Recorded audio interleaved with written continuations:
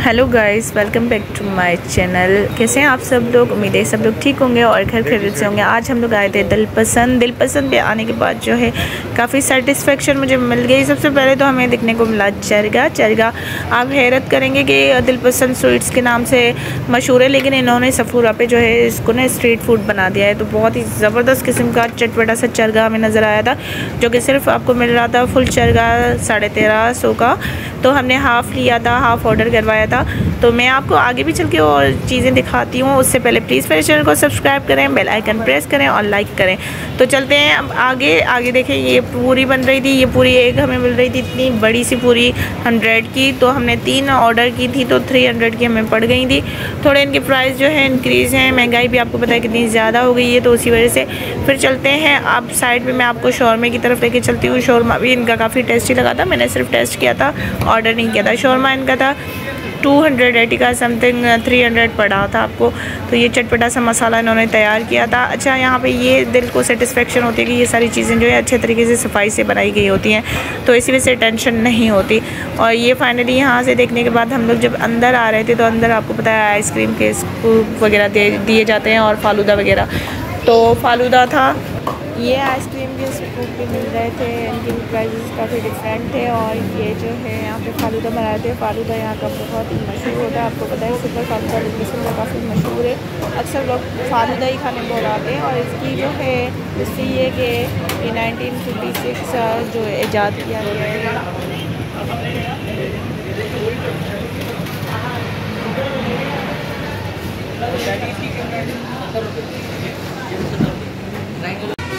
Guys welcome back to my channel and another blog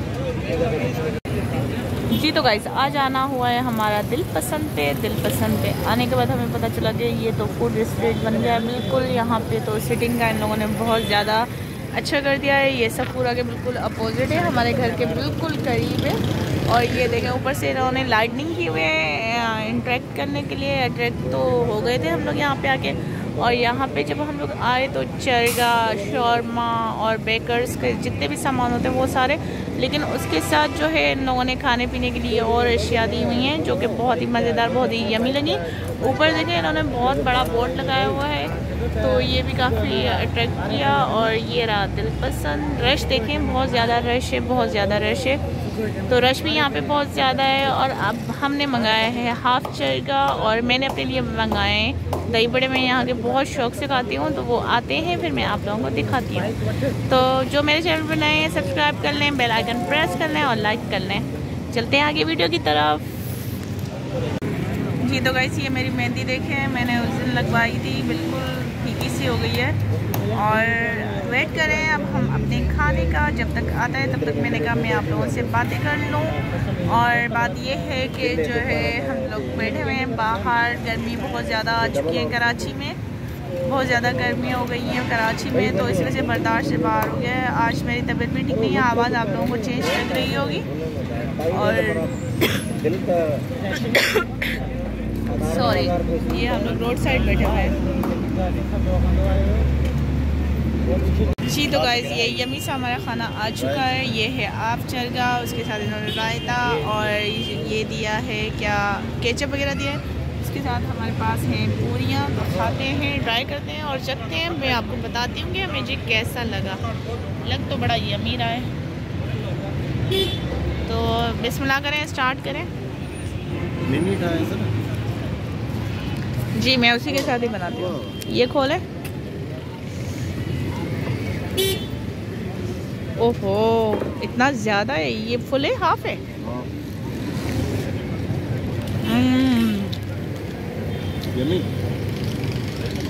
yummy and spicy तो दिल पसंद का चरगा भी अच्छा है।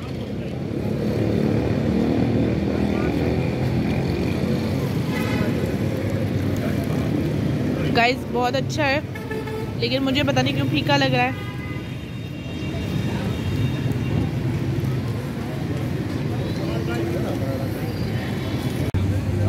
और मैंने जो है ये दही बड़े मंगवाए हैं, लेकिन बहुत ज़्यादा मीठे हो रहे हैं। इसके अंदर ये पापड़ी जो है तोड़ के डालनी है, और इसके बाद जो है ये मसाला मसाला दिया हुआ है। दही बड़े बहुत ज़्यादा मीठे नहीं है, बहुत मीठे हैं। बहुत मीठे हैं और ये मसाला दिया, ये पता नहीं क्या है ब्लैक पेपर है, पता नहीं क्या है। दही बड़े बहुत ज़्यादा मीठे हैं। गाइस खाना हो गया फिनिश इसके साथ हमने बना, मंगाया था, दही बड़े मंगाए थे, कुल्फ़ा मंगाया था और बिल आया हमारा पंद्रह सौ। तो